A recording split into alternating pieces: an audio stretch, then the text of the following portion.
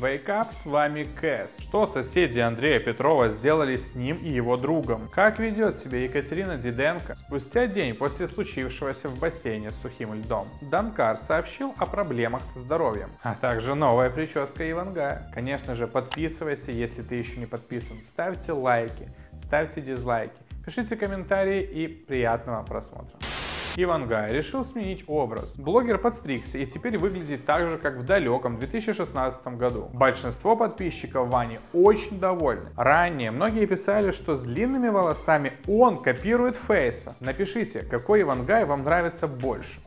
Данка сообщил, что у него проблемы со здоровьем. Парню поставили диагноз депрессия. Я болен. Реактивное депрессивное расстройство средней тяжести. Возникла она после расставания с девушкой. У меня была девушка замечательная. Мы расстались. Это не так просто преодолеть вот эту боль утраты. Сейчас выйти из этого состояния ему помогает специалист.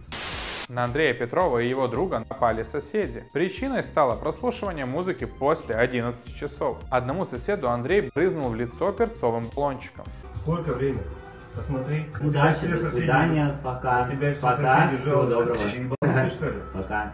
Ебанутый, что ли? Сука, пидорас, блядь. Я видел, как ты своей ногой. Ну что скажешь, зачем ты его обыскал? Посмотри, что ты натворил. Что, прости? Посмотри, что ты натворил. вообще? Это человек, Я который первый раз образ- Ну, конечно. Другой, Арслан Хасавов, не выпускал компанию с парадного. Позже он повредил Андрею руку. А вот что он сделал с другом Петрова. Они сейчас дерутся. Ой, не... Снимай на камеру. Я снимаю. Обе стороны написали заявление в полицию. По словам Андрея, слушать музыку ночью может и неправильно, но соседи не имеют права их трогать. С этим должна была разобраться полиция. Прошлом выпуске я рассказывал, как Катерина Диденко потеряла мужа на собственном дне рождения из-за неправильного использования сухого льда. Вали больше нет с нами.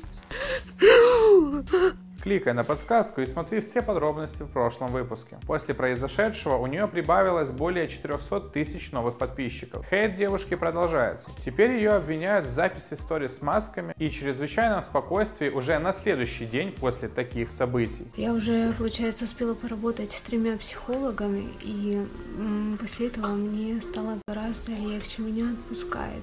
Катерина якобы как ни в чем не бывало рассказывает про похороны мужа. Мол, вместо скорби она хайпит на произошедшем. Он хочет, короче, чтобы этот прах а, я развеяла над полем. Он постоянно говорил то, что я не хочу, чтобы меня а, хоронили, я не хочу, чтобы меня отпевали, я хочу, чтобы меня кремировали. Маша Миногарова стала на защиту девушки. По ее мнению, каждый по-разному переживает, и ее дело, как себя вести. Пишите, а вы считаете поведение Диденко нормальным?